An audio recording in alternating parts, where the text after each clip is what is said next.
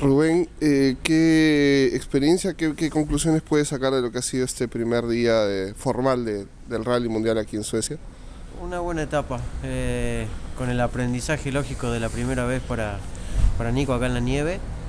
Eh, lamentablemente perdimos mucho tiempo en el, en el primer tramo, pero si sacamos ese primer tramo todos los otros fueron muy buenos, así que por ser la primera vez, muy, muy satisfecho. La gente se portó espectacular en ese, en ese tramo, ¿no? Ayudando, empujando. Sí, por suerte había gente. Si no hubiera habido gente, tendríamos que haber este, abandonado. Así que la gente nos, salvó. Eh, hasta que el auto no partió, no paraban de empujar y de ayudar. Pero una desesperación muy grande dentro del auto porque pasaron tres, tres autos. Así que, pero bueno, como te decía, sacando ese tramo, todos los otros han sido muy buenos. Han sido eh, tramos de 15, entre 15 y 13 minutos, son fuertes, largos para eh, y de difícil trazado, ¿no? Sí, además eh, el auto se comporta diferente en cada curva y, es difícil ver por qué lo hace, porque la nieve este, a simple vista parece que es igual en todas, pero en algunas resbala, en otros no, en unos dobla bien, en otros sorprende. Entonces la verdad que los tramos son de mucha tensión porque porque no estás seguro con qué te vas a encontrar.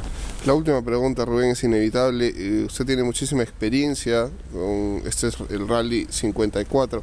¿Qué tal tener a Nicolás eh, Fuchs como, como piloto, como compañero de, equipo? La verdad que me ha sorprendido muchísimo, no solo por la forma en que conduce, y que maneja el auto, sino por cómo se ha adaptado al mundial con una naturalidad increíble, como si fuera un rally por el campeonato nacional. O sea, no, sin presiones, viviendo todo con mucha alegría, con, mucha naturalidad, como si lo hubiera hecho siempre.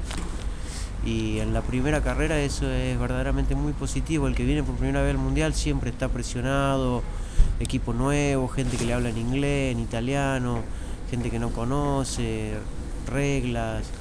Y la verdad que lo ha tomado con una naturalidad increíble. Así que ilusiona esto, ilusiona esto digamos, para, para lo que resta de este año y sobre todo de cara a, a lo que viene más adelante, ¿no? Sí, sí, por supuesto que sí.